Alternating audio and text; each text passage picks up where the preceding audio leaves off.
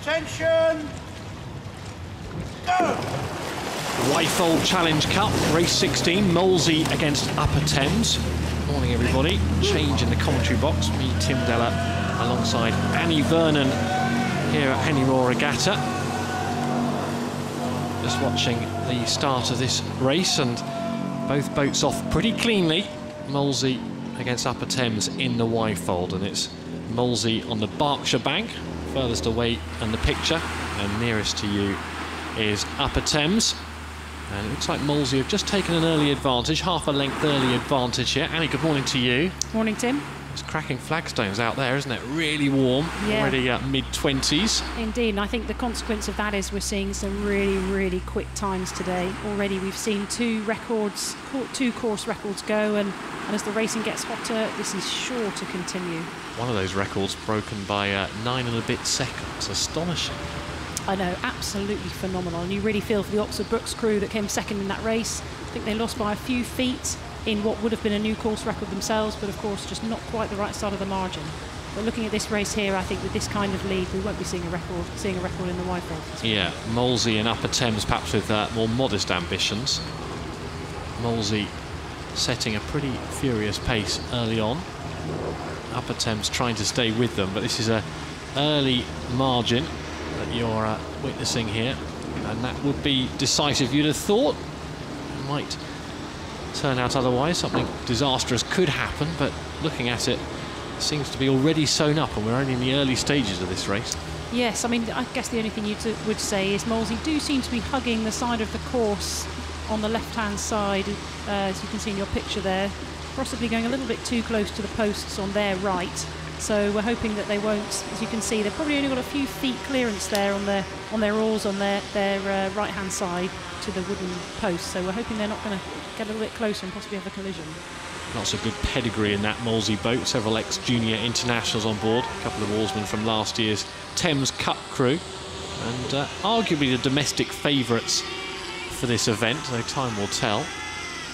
Certainly, so far in this race, they've looked good for that billing. You can just see in the background there the, the Remenham Club, which is the historic club halfway down the course, which is the home of, of a number of different London-based clubs, including Molesey, and, and, and home clubs that row past there get what is known as the Remenham Roar, with massive support there from their travelling supporters. And I'm sure Molesey are enjoying that at the moment, several lengths in front.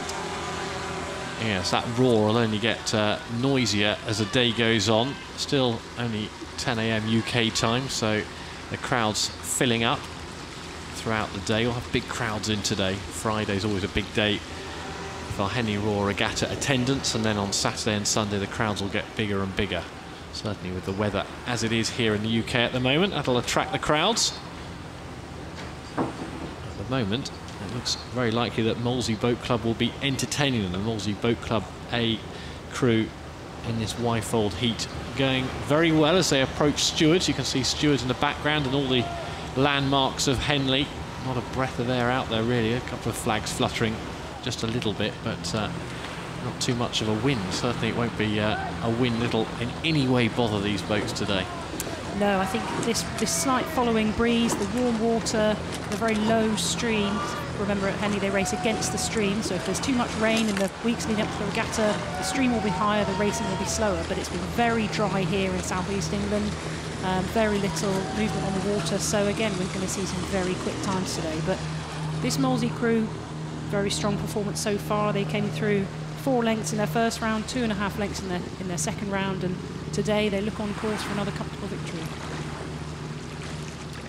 Good crowds there in front of Stewards enclosure. Those chairs precariously close to the bank. Molesey gritty and looking successful at the moment. Upper Thames Rowing Club chasing them a couple of lengths back, as they have been for most of this race. Still a little way to go, a few more strokes for Molesey Boat Club to see themselves over the finish line, but in truth they've had this one under control pretty much from start to finish, from Temple Island all the way down towards Henley Bridge, which is where they're approaching right now. Molesey Boat Club know their work is done. Liam Tustin in bow, Christopher Ray, Harry Glenister and Alistair Douglas at stroke. And this four Impressive once again. Good for their billing as one of the domestic favourites. Last few strokes. Some credit to Upper Thames Rowing Club A, who have worked hard to keep it to just over a length, but it's Molesey Boat Club A who successfully moved through that round of the Wyfold in some style. Always under control, right from Temple Island all the way down the mile and a bit course